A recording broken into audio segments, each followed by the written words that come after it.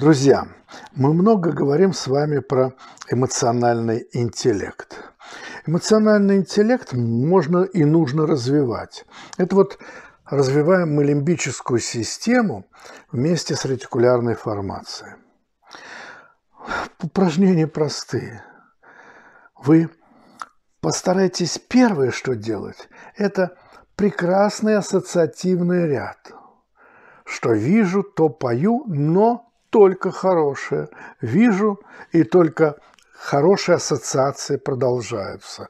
Вы видели эти ролики, эти упражнения. Второе, что вы делаете, это игра с предметами, со своим отражением в зеркале. Эмоциональная игра, когда вы, как артист, создаете те или иные эмоциональные сюжеты и их записываете. А вот здесь я вас даже попрошу, когда вы записываете какую-то эмоциональную свою игру, стихи читаете, танцы, ну не знаю, тут один мне выслал, как он грушу бьет. Это выражение эмоциональности своей вы не только в зеркало видите, но записываете на видео и просматриваете.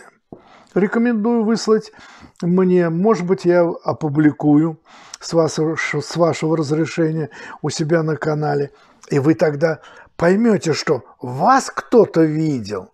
Вот это внимание. Я для этого и говорю в этом ролике, чтобы вы заснимали свои эмоциональные игры по развитию эмоционального интеллекта.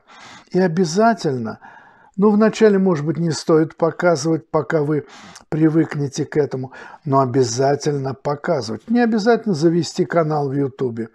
Ну, кому-то покажите, пусть посмотрят. В WhatsApp передайте кому-то. Мне вышлите, я могу опубликовать, и вы видите, я опубликую. Я даже объявил челлендж. Вызов вам бросил по развитию эмоционального интеллекта.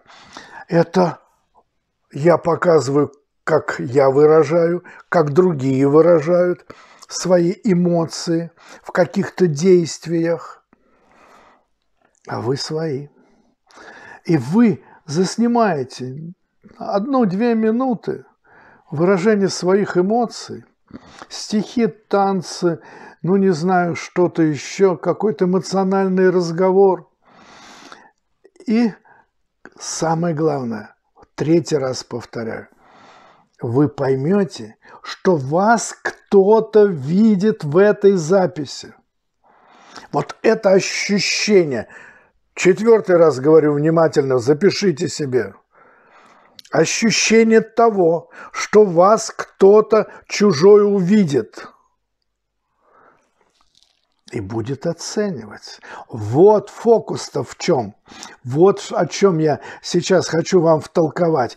Потому что у вас очень часто страх оценки других. Не самооценка, самооценка у вас занижена, а оценки других. Вы боитесь отражаться в глазах других. Вдруг я не так, вдруг я еще чего-то. Начните отражаться.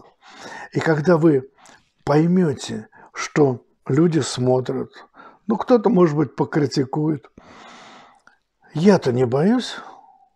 Почему? Да потому что на телевидении не работал, да он три тысячи роликов заснял. Я могу свободно говорить. А почему? Потому что практика, практика, практика. Так что, друзья мои, вот этот челлендж принимайте в мой вызов. Создавайте ролики, где вы выражаете эмоции, показывайте друзьям, высылайте мне и давайте разрешение, чтобы я выложил в Ютубе. А у меня 26 тысяч подписчиков. Кто-то вас увидит. У вас даже осознание того, что вас кто-то увидит, изменит ваше психическое состояние. Так что этот челлендж как будто практика. Практика на оценку самого себя – в глазах других. Так что жду ваших роликов. Я их опубликую.